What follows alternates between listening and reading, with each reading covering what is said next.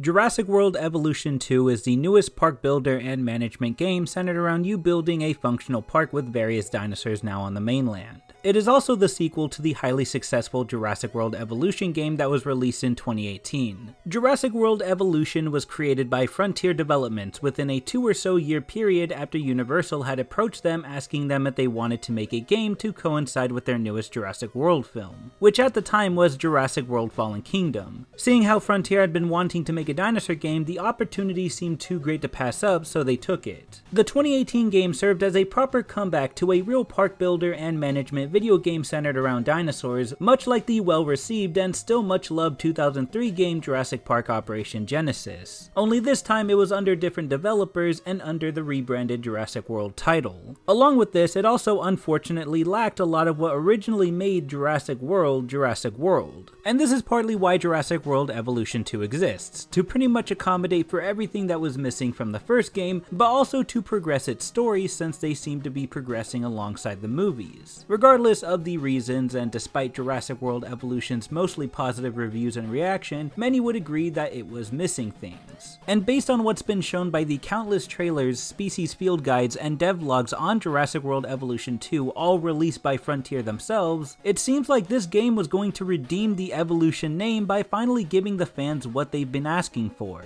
Of course, this is what it seems. How it actually is, is a different story. And knowing that many people were going to want to see me play this game, I've been racking my brain to how I wanted to approach this for my channel. Initially, I was going to livestream it, but then decided to make a playthrough of it for the second channel, but then decided to maybe wait on doing anything with it for a while. But then I realized that this was a pretty big event for the community, and I couldn't help but feel like I would be disappointed in myself in the future if I didn't take the time now to celebrate it properly by doing something with it for the main channel.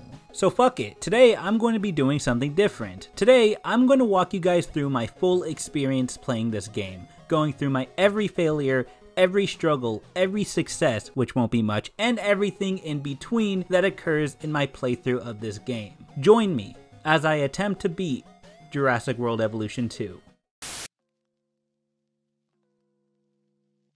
Before I get started with all of this, there are a couple of things I wanted to mention first to make sure you guys know what you're getting into. First off, this isn't supposed to be a review. The reason why I bring this up is because people are going to want to know how I feel about this game and I do have something planned in terms of a review. But this specific video is supposed to be more of a commentary of everything that happened within the game from my personal experience with it. Second off, for the sake of brevity, I'm going to go into this only looking at the two main modes of the game, the campaign missions and chaos theory. I'm assuming that most of you are already already aware of what challenge mode and sandbox mode is and how it functions, and yeah, I understand that they may contain newer features as well, but this is supposed to be a document of my personal experience with the game, not a document of the game's new features. But don't worry, of the new features that I do happen to run into during my playthrough of this, I'll be sure to mention. And finally, I'm playing this game on the PS4, which may not seem like a big deal, but from what I've heard, PS4 players get less features than PS5 and PC players. What these features are, I'm not entirely sure, but some of my friends mentioned that it means that I can only have a certain amount of species in my park and I can't do mixed eras, which to me isn't that big of a deal. There might be more, I don't really know, but if you notice any limitations, just know that me playing this game on the PS4 is probably the reason. Anyways, I think that's it, so without further ado, let's play Jurassic World Evolution 2.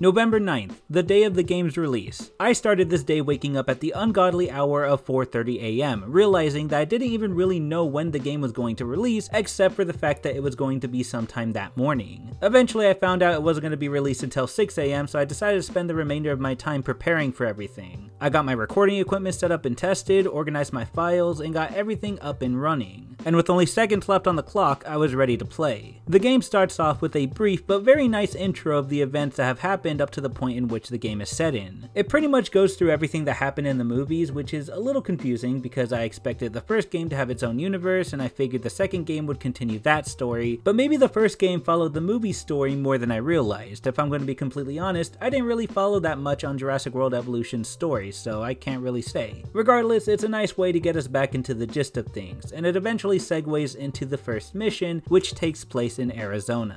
For those of you that may not have followed along and are confused as to why we're in the States and not on the islands anymore, the best explanation I can offer is that this second game is loosely following the narrative of the movies while attempting to create its own simultaneously. And if you remember the ending of the last Jurassic World movie, Fallen Kingdom, it clearly established that the story within the series is expanding beyond the island and onto the mainland. So naturally, the second game is going to do the same thing, but at the same time progress its own story, which is a continuation from the first game which took place on the islands. I could be wrong about my assumptions, so if I am, just correct me in the comments down below. Anyways, we're left in Arizona, and my god this game looks gorgeous. If there's one thing that Frontier can deliver on, it's making their game look visually pleasing. And even without the tropical atmosphere that made the first game so vibrant and colorful, they did a great job making the desert landscape look so amazing and realistic. Here it's revealed that wild dinosaurs are on the loose and it's our job to capture them and place them into nearby enclosures. The first dinosaur you have to capture is a loose baryonyx, and already the game is putting way too much trust in me thinking I'm a good enough shot to trank this guy. Once you're done with that, you place the dinosaur in the enclosure and pretty much accommodate for its every need. Which isn't that hard, it's only a full-on living breathing dinosaur, and really that's pretty much the gist for this first mission. Build enclosures, take care of the dinosaurs, and that's pretty much it. Luckily, there are some other things that you have to do to progress the game, and one of these things is obtaining wild dinosaurs. Since the game is no longer centered around you collecting fossilized materials and extracting DNA to create dinosaurs, the way you have to obtain them now is by capturing loose ones. For some of these campaign missions, there will be two areas within the map, the buildable areas you can put all of your buildings and enclosures in, and the wild areas, where all of the loose and now wild dinosaurs are. This is how we capture the baryonyx, and to be honest, it's kind of cool, but unfortunately limited. One of the other highlights of this first mission, at least for me, was taking a look at all of the new features within the game. There's so many little things that Frontier decided to add, some of which are cool, and some of which I can take or leave. Some of the new additional features include the ability to speed up dinosaur transports by literally just fast forwarding it like a remote control. And you can actually do this for literally anything else in the park. If you want to trank a dinosaur, construct a building, have the ranger teams monitor your dinosaurs, you can literally use this fast forwarding button for anything in the game and it speeds it up like nothing. You have backup generators now, which basically replace the substations and are completely wireless. So now you don't have to worry about pylons getting in the way of your enclosures or ruining the aesthetic of your park. But there is a catch, since they're generators, they run on limited fuel and need a refill every now and again, which you obviously have to pay for if you want the power to remain running. Along with that, dinosaurs now require a status checkup for you to see how they feel in their enclosures, which you have to do periodically. But you also have ranger posts that you can put inside the enclosures to monitor the dinosaurs in bulk. And along with all of this, in order to send out expeditions, you now have to recruit scientists to help you. So the way the expedition centers work in the first game is you sent out teams to various parts of the world to excavate and bring back materials and fossils that you can either use to excavate dinosaur DNA from or sell to make a little bit of money. That was back when the idea was to build a park. In the sequel where the idea is to capture and enclose loose dinosaurs, the expedition centers now go in areas around the world to do live captures and this is where the scientists come in. The scientists you recruit use their abilities and skills to perform these live captures that you assign to them and instead of bringing back rocks and fossil material, they bring you back loose dinosaurs they managed to capture. In this specific mission, the scientists I recruited captured four stegosaurs I had to prepare an enclosure for. As you can see, this is a beautiful and totally symmetrical enclosure, and nobody can do better. And it looks like the stegosaurs love it. I mean, kind of, they are missing some vegetation. There's also new plants and shrubbery that you can put in the enclosures, and each one offers something different to each dinosaur. In this case, the stegosauruses wanted some ground fruits. After I tried to give them that, they then decided they wanted more ground fiber. So I figured it would be easier to balance these two things with a bigger enclosure, and, well, now we have this thing. A beautifully structured enclosure, that is. Man, I can't even lie to myself if I wanted to. And your final task of the mission is to try to make it past a sandstorm and the issues that come with it. And what I mean by that is the sandstorm will agitate the baryonyx and it will break out of its enclosure with a single hit to the fence, Jesus. After the baryonyx gets through the tinfoil fence, it's your job to trank it, secure it in its enclosure, and remember that you had a security bunker for your guests that you forgot about during one of the most crucial parts of your mission and no doubt got a bunch of people killed because of your little oopsie. But I guess they decided to ignore that mistake for me because I ended up passing the mission. The game then drops us off in Washington where a dinosaur poaching ring was broken up by authorities after a disastrous event involving dinosaurs took place. And this means moving from a warmer desert region to a much colder tundra region. And just like Arizona, Washington in this game looks amazing and it's awesome that we're able to see dinosaurs thrive in a snowy environment even if it's not the most realistic thing. But it's still a pretty cool thing to see. Anyways, we pretty much start this mission by cleaning up the poacher's mess. And we're thrown right into the game. We started off by taking down a couple of Carnos and building a suitable enclosure for them. At least I tried, but a lone Gallimimus has kind of got in my way. He must have wandered too far from his herd, but he doesn't seem to be worried. In fact, it parked itself right in front of one of the Carnos I had tranked and doesn't seem too bothered by the fact that it's within the same vicinity as its now natural predator. I tried to build a fence between them so the Carno didn't try to make him his next meal, but he was very much in the way. But he seemed to have understand because he got up, walked away, and proceeded to lay down away from where I was building. That's a good galley. And as far as the Carnos go, they seem to be happy in their enclosure. Oh yeah, that reminds me.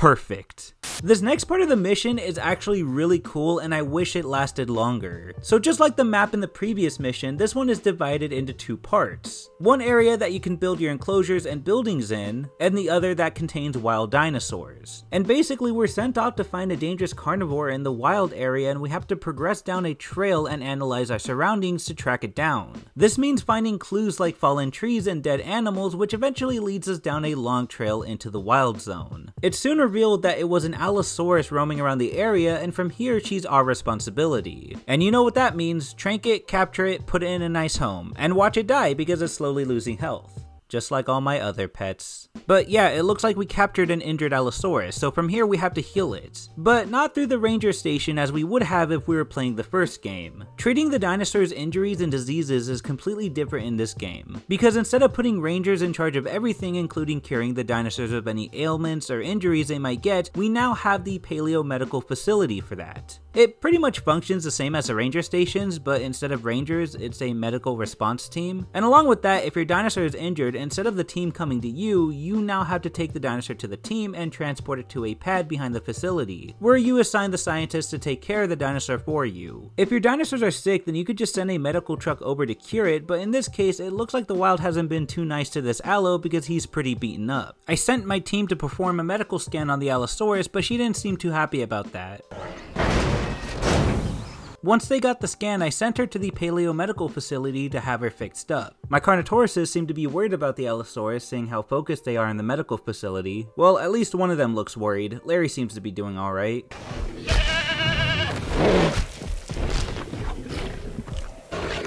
Anyways, after all that bullshit, we just make the Allosaurus comfortable in its enclosure, and that's pretty much it. We pass the mission. What I liked about this mission is being able to explore the map a little bit, and I wish we did more of that. There was a real sense of danger and challenge there, but it was very short-lived. Seeing how the sequel's campaign is about capturing all of these dinosaurs in the wild and putting them in a safer place away from civilization, I would have expected a bit more of the venturing into the wild part of the game, but that's just me. Next, we move on to Pennsylvania, which seems like an odd choice seeing how everything else was more in the western region, but according to the game, this location serves as the official headquarters for housing all of the loose dinosaurs. And it actually kind of makes sense since the whole dinosaurs are now on the loose thing is a national situation. We start this mission off by bringing in the Allosaurus and the Carnotaurs from the first mission and making them a permanent home here. I decided to at least try and make the Allosaurus' enclosure a bit more interesting by giving it a little island with its feeder in the middle of it, but that's about as creative as I can get, so let's move on. If I'm gonna be honest, Pennsylvania was probably the most boring mission out of everything in campaign mode. Trying to remember back to it, I can't recall a single notable event that actually happened aside from this asshole glitching outside of his enclosure. Nothing was broken and the gate was closed, how else could he have possibly made it out? At one point during the Allosaurus' breakout, one of the guests of the park ran up to it and died immediately. What the fuck were you expecting, man? You know what, I don't even feel bad, you definitely deserve that. Oh, what's this? A storm? Great, just what I needed. It's like the game understood that I needed some content for this mission, so it's just throwing conflict my way. Don't worry guys, I've learned my lesson from the first storm. Sometimes you just have to take the bull by the horns, or in this case, take a helicopter and fly it right into the tornado. Hell yeah, this has a 99% real life success rate. Real life, try it yourself. wow, I didn't think that would actually work. Uh, I, I mean, of course it worked. Like I said, 99% success rate, real life. Try it yourself, uh, at your own risk. Uh, don't do that, you'll die. Also, in one part of the mission, I was supposed to increase the asset rating, so I added some new dinosaurs to my park. And this next part of the mission would take me so much longer than I care to admit. So, here's a summary. Since I already had some carnivores, I figured a little bit of variety would help me out, so I added in some ankylosaurs. No one looks very interested though. Okay, how about some Diplodocuses? No? Parasaurolophuses? How about some Sigdeinonychuses? So much for variety. Next off, Oregon. In this mission, I finally got to mess around with one of the bigger new additions that was heavily talked about for this game, the aviaries. In the first game, these things sucked. You couldn't customize them, you only had one species of pterosaur to work with, and they didn't really serve much besides a decoration for your park. But in this game, they are a massive improvement, not only because you can customize them now, you can also expand them and make them bigger. You also have more than one species to work with now, however, in this specific mission, we only really use the Pteranodon. And it's around this point that I realized that the campaign doesn't really utilize a lot of the newer aspects of the game. This sequel also has aquatic creatures, new dinosaur animations, new dinosaur species, and so on. But unfortunately, none of that is really showcased in the campaign, even though they could have found a way to implement them in there and make it more exciting. And this is one of the few times where we see the new features, but there really isn't much to this mission for it. The game had me build an aviary, had me assign one of my scientists to perform a live capture to obtain some pteranodons, and put them inside their enclosure. Pretty much the same setup from the previous missions, except this time it's with the aviary. After that, asset ratings, comfort levels, mission completed. Next, the game takes us to the final mission, which happens to take place in the most awful place in the world. A place filled with crackheads and is known for having one of the highest homeless populations in the US. Easy pickings for the dinosaurs. Yes, people, I'm talking about California. Jesus, who would live here? You would have to be a massive loser to live in this state, let me just tell you. In this game, though, we actually get to venture into the part of California that's actually beautiful, and Frontier did a good job in making it look that way. In this mission, the map is set up like the first two missions maps, where there's a buildable area and a restricted wild area. In the wild area, it's pretty much dominated by only herbivores with the exception of one baryonyx that I saw. And around this first part of the mission, I got to venture through the area and take pictures of dinosaurs, but the Triceratops didn't seem too happy about that.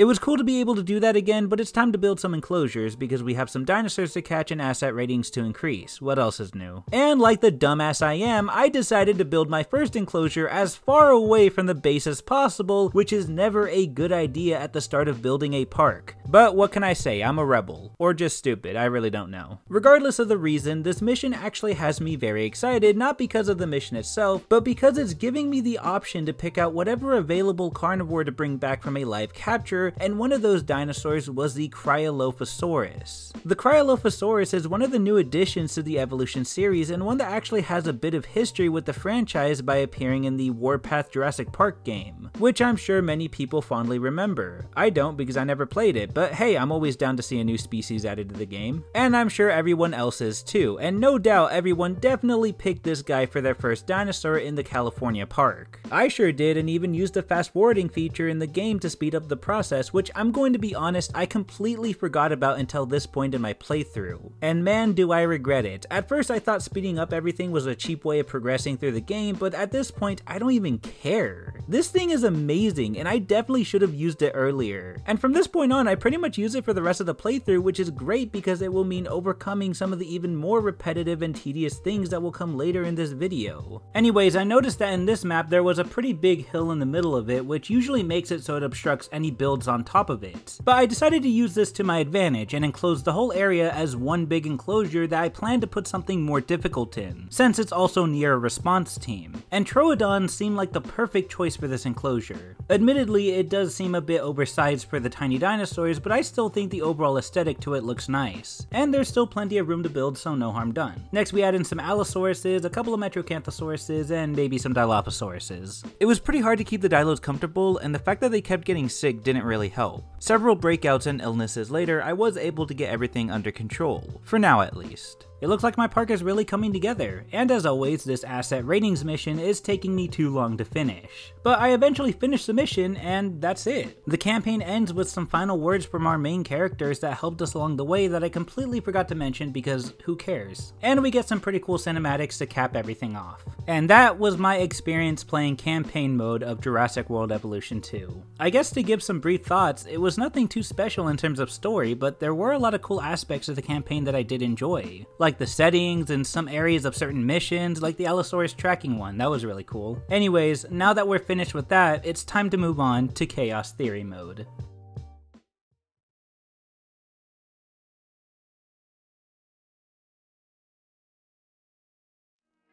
When Jurassic World Evolution 2 was announced, Chaos Theory was one of the things that was revealed alongside everything else. But at the time, Frontier didn't say much about it, but on the official website, the description read, Chaos Theory mode lets you play through key moments of your favorite films with a twist. Experience what-if moments from iconic Jurassic Park and World films. Now I didn't do very much in terms of trying to stay up to date with the game prior to its release, so I didn't really know what Chaos mode was supposed to be. At first I thought this was just supposed to be another version of Challenge mode, but Frontier was promoting this thing to be a mode of its own and one that was supposed to offer a different experience. It's supposed to be something new, something unique. Is that what we're going to get? Let's find out. Chaos Theory Mode provides five scenarios, one from each era of the movies, and each one has a story that pertains to that specific scenario with different missions and characters, at least for the most part. And obviously, the first one we're going to go through is the Jurassic Park one. In this what if scenario, we're taken back before the events of Jurassic Park to give our personal spin on what a successful park could look like. We're supposed to learn from the movie's mistakes and attempt to make a fully operational Jurassic Park alongside John Hammond. The game starts off with another one of these really cool intros that all of these scenarios have, and builds its way up to you starting your very own Jurassic Park, and I'm ready. I've watched this movie thousands of times. I've watched them make their mistakes thousands of times. Surely I can build a functional Jurassic Park that's safe for all guests, right? Wrong. Things went wrong. Very wrong. To give you guys some context on what happened, it's simple. I was an idiot. Seriously, looking back at it now, there were a lot of things that could have been changed about my park that definitely would have prevented a lot of the chaos that would eventually ensue. So let's go through them. The first half of the game is just passing missions to prepare for the opening of Jurassic Park. That means building certain structures like the Expedition Center and the hatchery, along with creating some dinosaurs and putting them in suitable enclosures. To be honest, it just felt like I was playing the first game but with the Return to Jurassic Park DLC. I mean, it's the same setting, the same process, the same goal. You get dinosaurs from the Expedition Center again and hatch them in the hatcheries. But hey, at least you can release more than one dinosaur now, that's pretty cool. But yeah, the first part is pretty basic, so I won't go too in depth with that. The second part of this is where the issues came. I would eventually bring other dinosaurs to my park like Triceratops, Parasaurolophus, Dilophosaurus, and place them all in their individual enclosures. The problem? Well, first off, I was way too generous with the size of the enclosures. Second off, like the dumbass I am, I thought it would be a good idea to space them out so far apart which is something that I already did earlier in this game and something that I did point out in this video and you think I would have learned from that but no I'm just stupid. And it wasn't even bad the first time around because nothing really happened but it would be bad now because in one mission I had to connect a safari trail to each enclosure so people can see all my dinosaurs better. And having the enclosures so far apart meant I was spending more money on paths. So yeah, definitely could have used my money better, but oh well, this is just how my park is now. Hopefully nothing bad happens to it like a storm or something. Oh, would you look at that, a storm. Yeah, I don't think I'm recovering from this one, boys. You know what? I think this has taught us a valuable lesson, and that trying to reattempt this park by learning our lessons from the movie was always going to be futile. Actually, now that I think of it, I literally did the same mistakes and expected different results. Let's see here, what does that make me? Oh. I think this is a good time to move on anyways. Onwards to San Diego.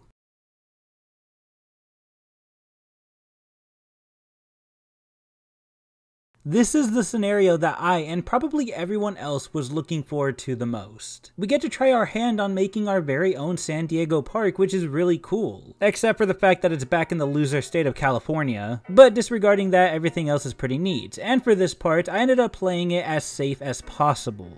To give you guys an idea, sometime in the beginning of the story to this part, there was a mission where you had to house two T-Rexes, which were Buck and Doe, you know the T-Rexes from the second movie because this is trying to imitate the Lost World aesthetic. And I ended up putting them in separate enclosures out of fear that they wouldn't like each other and want to break out or fight. Here's the thing, I didn't actually realize it was supposed to be Buck and Doe. Had I known, I would have put them in the same enclosure and it probably cost me more to build separate enclosures, so if anything I made things harder for myself. I never said I was big brained. Along with that, I didn't really know how I was supposed to use the amphitheater at first, so I just kind of ignored it for the rest of my playthrough. I don't know if it's because I was caught up with the missions, or if I just didn't care enough to use it right away, or if I knew how to use it at all. But yeah, I didn't use it, and now it's just this giant thing in the middle of my park that has no attraction to it because I didn't attach an enclosure to it. Maybe it's because this segment takes place in California. Everyone knows your IQ automatically decreases as soon as you're in this state. Anyways, I would go through this segment chronologically, but if I'm going to be honest, San Diego wasn't much of a different experience in terms of gameplay as literally everything else in the game. Some dinosaurs get brought in, I have to make enclosures for them, make sure they're happy, research some things, dinosaurs break out, tranquilize them, make them happy again, put in some buildings, make some new dinosaurs, put them in the park, make them happy, change your game to three times speed and watch the compies jump around like they just snorted a line of cocaine, you get the picture. I know I said that this was my favorite scenario out of the five, but looking back at it, there wasn't a lot that actually happened that was different or unique from the rest of the things that I did so far. Really, I just spent a lot of the time experimenting with the more management side of the game, like where to put buildings and listening to what the people wanted, probably because the game had me do missions that revolved around those kinds of things, because you know, it actually wants me to manage my park, which is, you know, the whole point of this game. I also got to finally hatch and see the Coelophysis, which was an addition to the game that I was really excited for. That was really cool. But by the end of it, I only got through 83% of the story on this one. Gonna be honest, after spending a few hours with this, I really got bored and just dipped. So let's move on to Jurassic Park 3.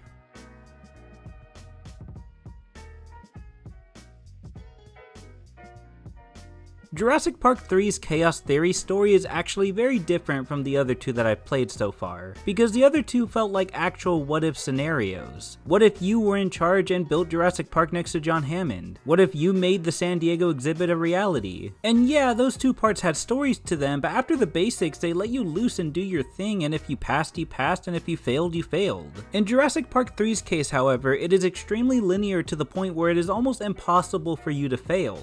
And the reason why I bring bring this up is because when things like this part of chaos theory is so linear, it makes it harder for me to fuck up, and because I can't fuck things up, there's no content, because let's be honest, people love watching me be stupid in these games. But no, it's like Evolution 2 was getting tired of all my fuck ups and gave me a bare bones section of chaos theory that would be impossible for anyone, even I, a dumbass, could fuck up. And to be honest, that's extremely disappointing. But seriously, all jokes aside, and to give more context, this whole section is following a young Simon Masrani, who was casted terribly. We will do it again.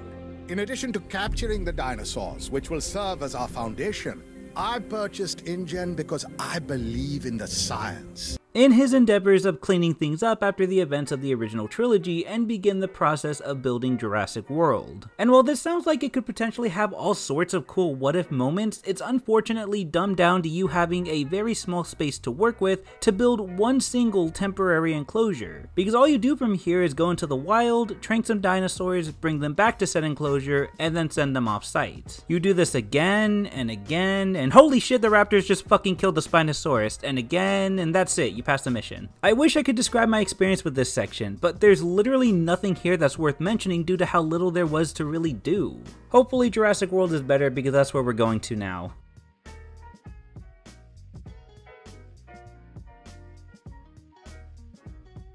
In this part of Chaos Theory, the game lets us go back to actual park building. As great as it is to be able to be back doing this, nothing much has really changed about it except the setting. In the Jurassic World segment, we pretty much continue the story from the Jurassic Park 3 segment and follow Masrani and his crew to start the process of building Jurassic World. And for me, like the rest of these park building scenarios, the start was pretty slow. I just followed the missions and began the process of putting my park together, so nothing notable really happened. This segment was set up like the first two where a good portion of the beginning is dedicated to preparing for the park's opening. The game gave me some dinosaurs to work with as well, like some Ankylosaurus, Triceratops, and a T-Rex. Once I got everything settled there, it was time to open the park and prepare for whatever inevitable chaos that would result from a decision like this. I mean, let's be honest, if history has taught us anything, it's that I'm not the best person to be trusted with running a dinosaur themed park. But to be honest, I actually did okay for most of this segment. But it was pretty boring. Most of it was just trying to make the guests happier by adding and configuring amenities, restrooms, storm shelters, and so on. As I was doing that, I was also expanding my park, adding in new species from the Expedition Center like Ceratosaurus, Gallimimus, Compsognathus. I think what was really annoying about this segment was how long it took for me to complete missions. I don't know if it's because I was doing things wrong or if the game's glitched, but no matter what I did, the guests were just not satisfied with anything.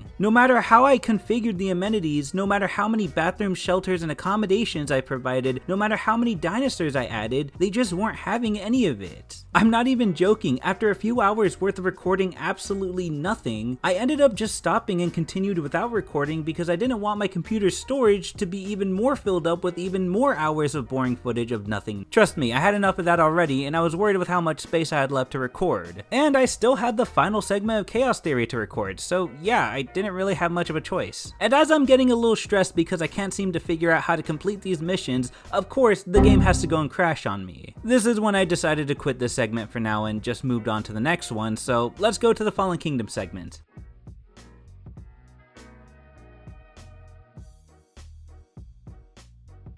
The Fallen Kingdom segment is sort of like Jurassic Park 3 in the sense that it's kind of linear, but at least in this one, it gives us more to do and a bit more freedom to do it. And I think it's really cool that they set it in a fallen Jurassic World setting where the park has fallen apart and all the dinosaurs are loose and everywhere. It almost feels like an apocalyptic world, but instead of zombies or aliens, it's with dinosaurs. The story here revolves around Claire and Owen coming back to clean up the park after the events of Jurassic World, and that's pretty much it. This one doesn't take too long to finish, and again, it's somewhat linear, so it's easy easy to complete as well. Despite that, it was miles better than Jurassic Park 3 just for the setting alone. It's so cool to be able to venture through a completely fallen Jurassic World park like this. And I finally got to see the Mosasaurus tank. But then I realized that this segment took place after the events of Fallen Kingdom, so the Mosasaurus had already escaped at this point, even though the game inadvertently proves that this is impossible because the tank isn't connected to the ocean in any way. But I'm not here to debunk things, I'm here to play the game. So one of the first things I was sent to do was fix up some buildings and perform a status check on some of the dinosaurs. This is it. This is my time to shine and show the world how great of a driver I am. Shit. Damn it. Pardon me. Fuck. Not sure how I managed to flip the car over. Damn it, again? And... perfect parking. Hell yeah.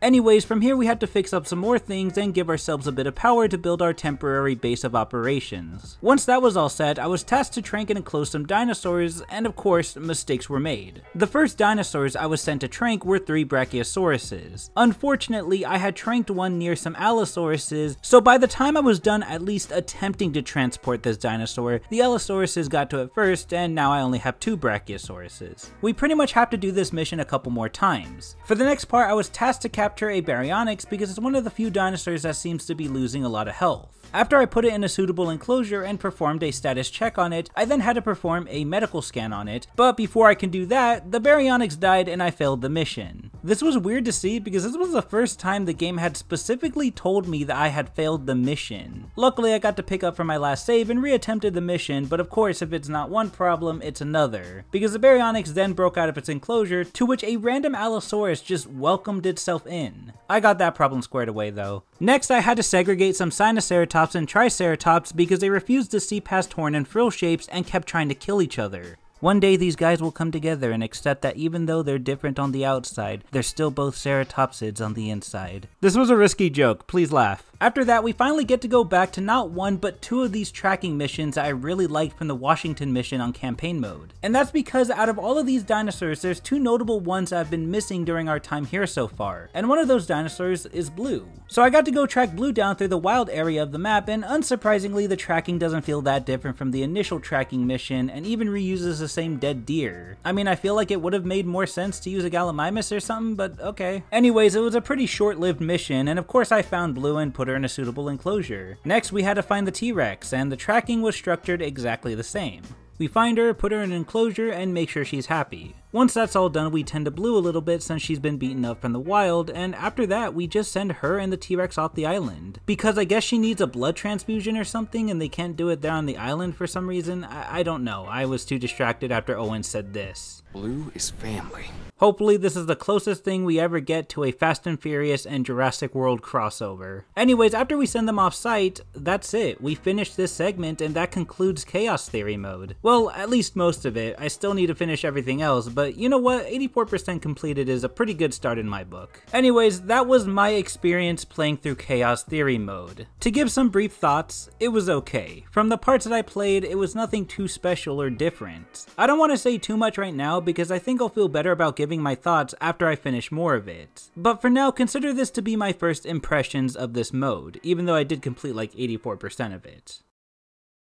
Thank you for joining me on this journey through Jurassic World Evolution 2. It was definitely an enjoyable game for the most part. I don't want to say too much about how I feel about the game because I do have something planned as a sort of review for it later. I know I already gave some thoughts on certain aspects of the game, but it was really hard to continue this experience without giving at least some of my thoughts on it along the way. But I'll be sure to have a more in-depth review out at some point. Really, this video was just supposed to be a fun look into the game without giving it much thought, and I had a great time. There's probably going to be some people out there that are going to be mad that I didn't 100% everything or unlock everything, and don't worry, I do plan to go back and unlock everything else and at least attempt to 100% everything. But the reason why I did it this way is because if anyone has followed this channel long enough, you'll know that I've never been much of a completionist. So I don't sweat as much on trying to get everything unlocked as quickly as possible. That and I was also running out of storage on my laptop for all of the recordings. I have about 12 and a half hours worth of recorded Jurassic World Evolution Evolution 2 gameplay, so that's gonna be fun to sort out and edit through. But anyways, I hope you guys enjoyed this video. I know it was very different from how I usually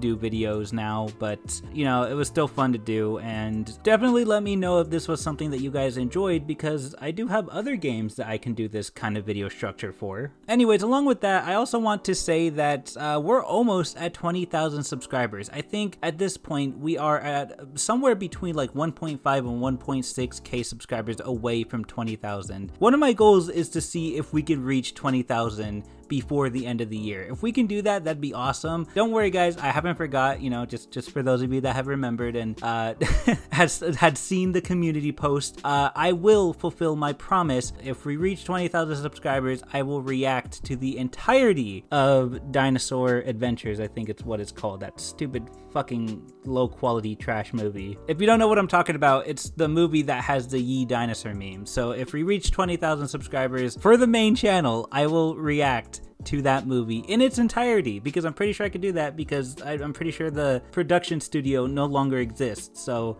I'm pretty sure that I can literally get away with watching the whole thing without having to change anything for the sake of avoiding a copyright strike. So, but yeah, just a friendly reminder of the fact that I'm willing to lose brain cells for a subscriber goal. Anyways, thank you all so much for watching this video. This was a very fun video to put together, and that's pretty much all I have to say for now. Thank you guys so much for watching, and please, have a nice day.